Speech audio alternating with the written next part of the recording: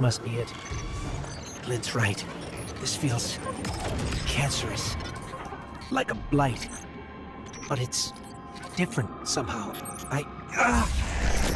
What is this? An incision. Guardian. You were thrust into Into an an unending life of certitude. It's in my mind. Trying to tear me apart. Let us free you from this architect of your enslavement. No! Ah, I. I did it. I fought it off. Shut it out. No matter. Our voice will suffice.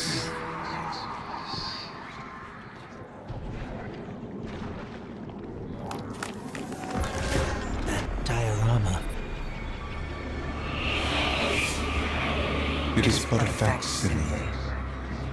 testament to loyalty, an expression of longing. Crow. We see his heart held in talons. We hear it beat with his twin sister's screams. Within the final shape, we offered a vision of her bride. Of yours, friends, looking to him with trust. But, like you, he chose pain. You use the darkness to exploit Crow's memories? and the light to give them form. Don't you see how beautiful it all could be?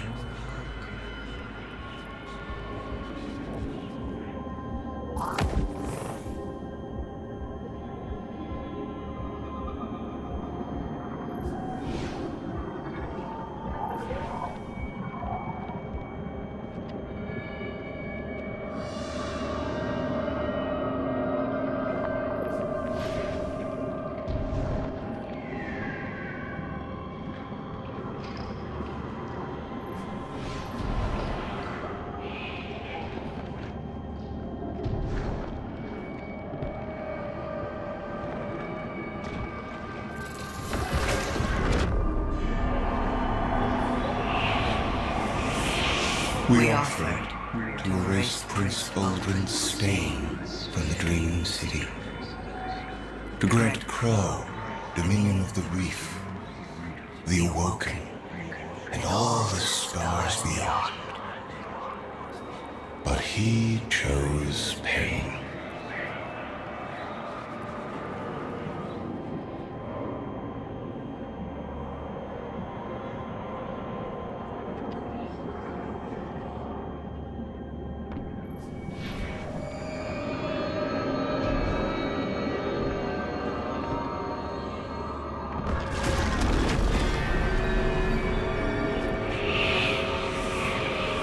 Crow believes he is resisting temptation. As do you. But material is immaterial. Only purpose can cure his heart. And he believes his capacity for pain is that purpose. It is why he subjects himself so completely to your traveler. This belief was taught, conditioned into you. it can be unlearned.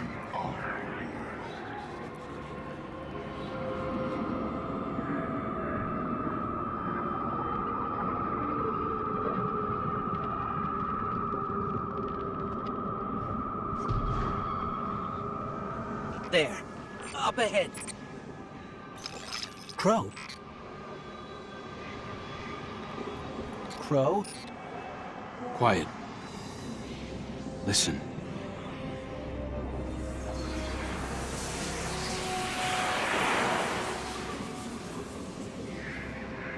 I've seen these veiled statues before. You have too. It's whispering something, but I can't quite make it out.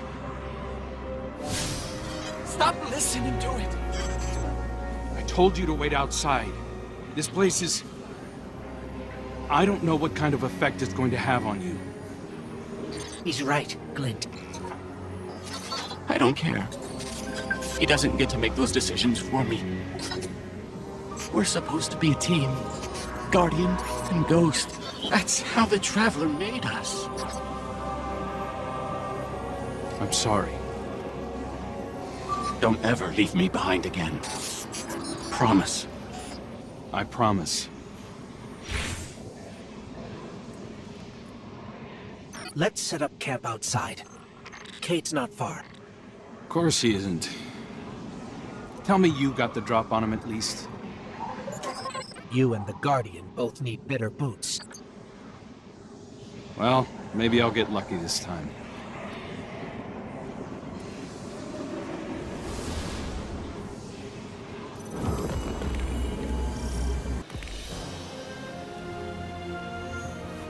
It's hard to describe. Like these pockets of darkness are physical manifestations of the Witness's presence here. An infection, festering. You said it spoke to you. in the dark, tempting me. The witness knows what's in our hearts and minds. It promises to make it all real as part of the final shape. Listen, whatever the witness is doing to the traveler, our ghosts can feel it too. And it's spreading. Ikora would know what to do. Oh, don't worry, kid. We'll find her. Even if we have to blast our way through. I don't think it's that simple. Sometimes it can be. Let's just get our bearings again. Refocus. Agreed.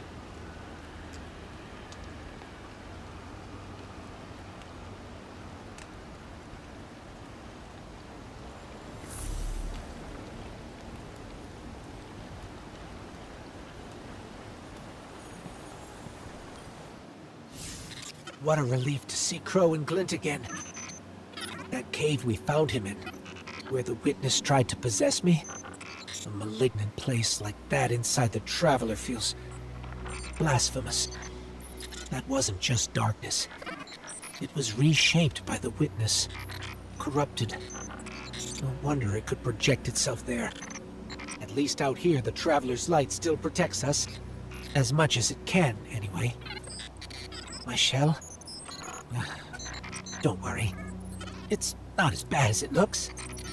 The witness barely left a crack. We take hits and we get back up again. Right, Guardian? Listen, the others spotted a location nearby that resembles the Io Cradle. Sounds like something that would be of interest to a warlock we know.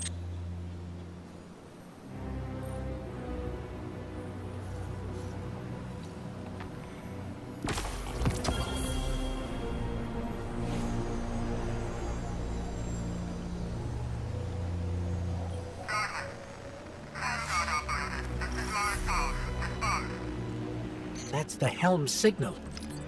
Mara, we can barely hear you. I'll try to boost the connection. Crow? Does this reach you? She can't hear us. I'll keep trying to clean up the signal. The portal remains unstable, and your enemy has barred the way behind you. The abominations you encountered are of the Witness's making. This is but a fraction of the power it now wields. Using stolen light, it has created a new army in opposition to the one the Traveler raised. Stewards of the final shape. No matter. The Coalition convenes to devise a method of dispelling the Witness's interference. Caiatl and Mithrax have promising theories. Once this desperate attempt to slow us is left broken, we will rejoin the attack. Let my voice send you now, in flight to strike down the Witness and all its followers. Go with hope and with vengeance.